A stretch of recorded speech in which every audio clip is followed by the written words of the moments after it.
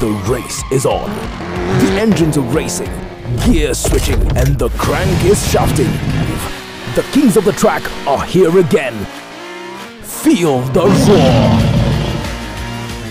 Hi, and welcome to the 2023 WRC Safari Rally update with KCB, with all the build up and excitement with me, Eddie Kimani, and Sean Cardovillis for this event slated for the 22nd to the 25th of June. Today we focus on one of the KCB sponsored drivers, Nikhil Sachania, a paraplegic uh, who went into the sport in 2014 and is a former motorsports personality of the year. Um, really appreciate the support from KCB. Uh, since last year, they've, uh, they've supported us. Uh, last year, they supported us in the WRC and a few of the the KNRC events. This year, we're looking at uh, the support from them uh, during the WRC. It's, it's my third WRC, um, and we've you know we've been improving slightly every year.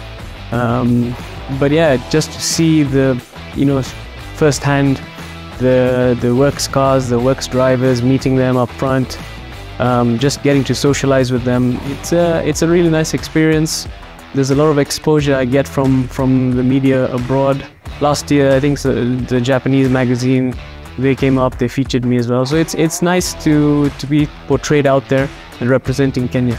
So Nikhil Sachania, uh, he will be competing in the main category and it's good to see him getting support from the FIA.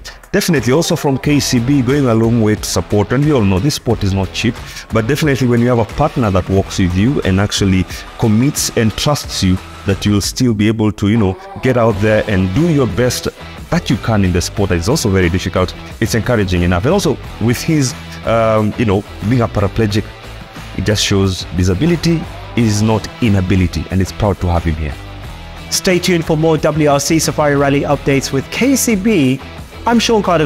And I'm Eddie Kimani. KCB for people for better.